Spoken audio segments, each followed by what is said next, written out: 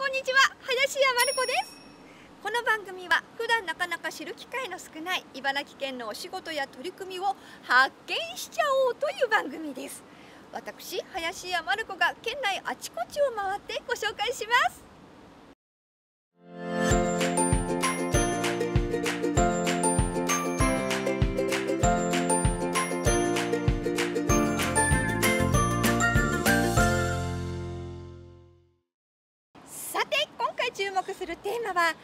来年10月15日から行われる第17回世界胡椒会議です。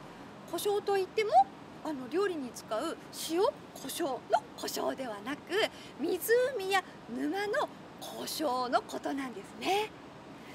さて一体どんな会議なのでしょうか？早速お話を伺ってきます。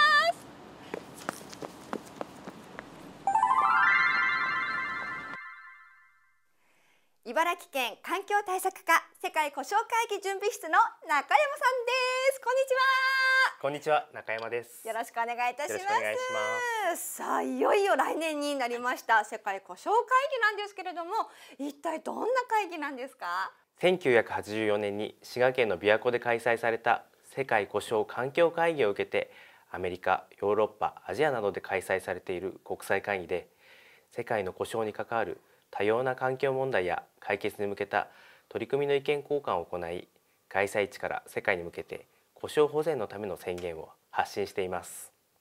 茨城県ではえ1995年の第6回会議以来の開催であり今回の第17回世界故障会議は23年ぶり2回目となります。23年ぶりですか。じゃあ私が生まれる前にやってたのかな？なわけないですね。23年ぶりなんですけどどんなことを会議されるんですか？はい。今回の会議のテーマは人と故障の共生持続可能な生態系サービスを目指してとなります。生態系サービスって初めて聞く言葉なんですけど、はい、私たちの生活に欠かせない食料や水の供給をはじめ故障から得られる自然の恵みを生態系サービスと呼びます。例えば水や有機物の合成水産資源観光資源水資源の安定化などです。自然の恵みを将来にわたって享受していくためにはどのようなことに取り組むべきなのかを住民農林漁業者研究者行政など故障に関わりを持つすべての人たちで情報の共有意見交換を行うことが今回の世界故障会議の目的です。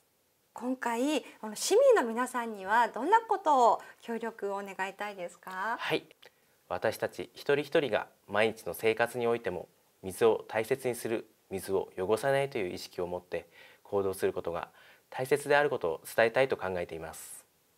ちなみに会場はどちらなんですか？はい、えー、今回の世界故障会議なんですけれどもメイン会場は筑波の国際会議場になります、はい、土浦市霞ヶ浦市鉾田市茨城町。水戸市においてはサテライト会場として環境関連行事と合わせて機運醸成の取り組みを行っていただく予定です。前回の第6回の会議を受けて何かこう形になったものってあるんですか？はい、えー、主なものといたしましては県内の故障河川の水環境の保全に取り組む施設といたしまして茨城県、えー、霞ヶ浦環境科学センターが設立されました。それでは会場の霞ヶ浦環境科学センターそしてサテライトの故障に今から行ってきますここは霞ヶ浦環境科学センターです。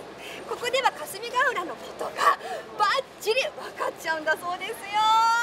こんにちは、はい、こんにちは。気合を入れてやっております。気合入れて林家まる子です、はい、私霞ヶ浦環境科学センターの小松崎と申します。お願いいたします。す。ごい賑わってるお祭りですね。ありがとうございます。こちらの施設すごい立派なんですけれどもどういったところなんですか？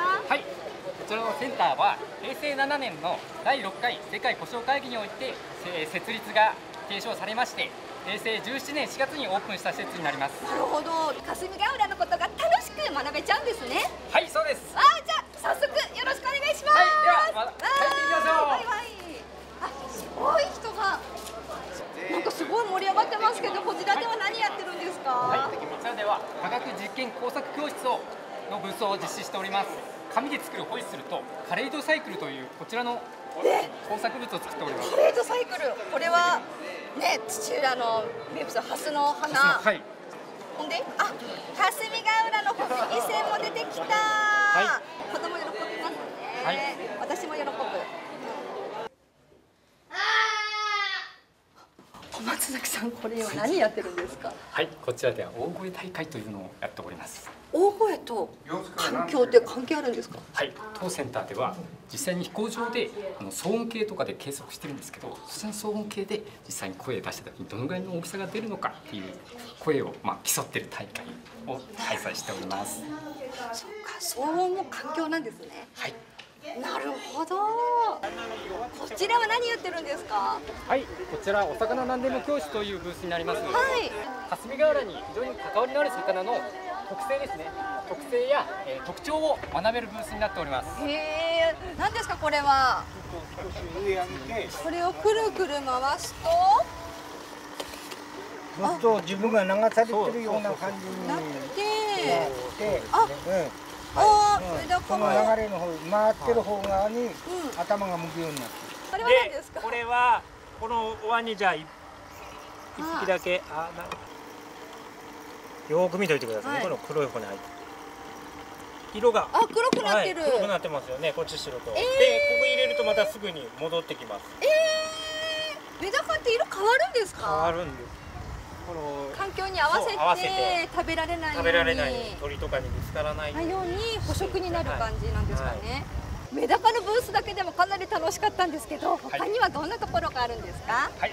霞ヶ浦の生き物とか歴史文化あと水質実験等のいろいろなブースを用意しております。本当にこう楽しみはいながら学べちゃう、もうはい。素晴らしいセンターですね、ありがとうございます。まあ、いつ来ても常設しているものもあるんですよね。はい。常設展としまして1階の展示室がえー常に見れるようになっております。はい。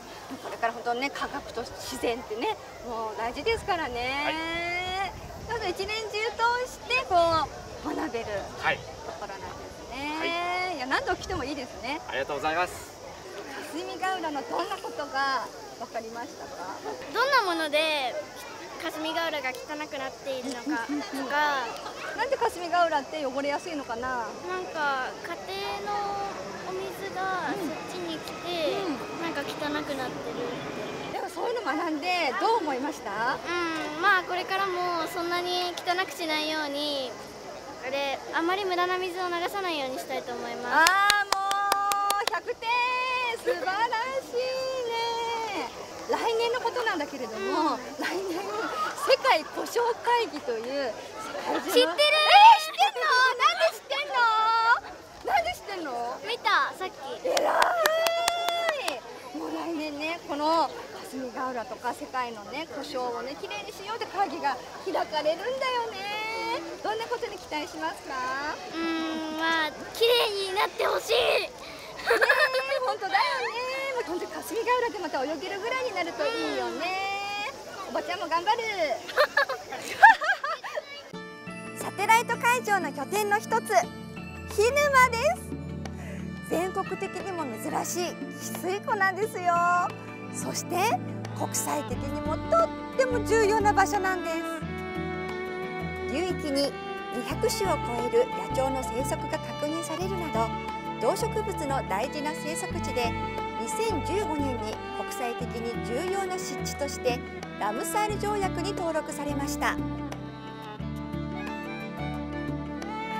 続いてはサテライト会場のもう一つ千箱にやってきました。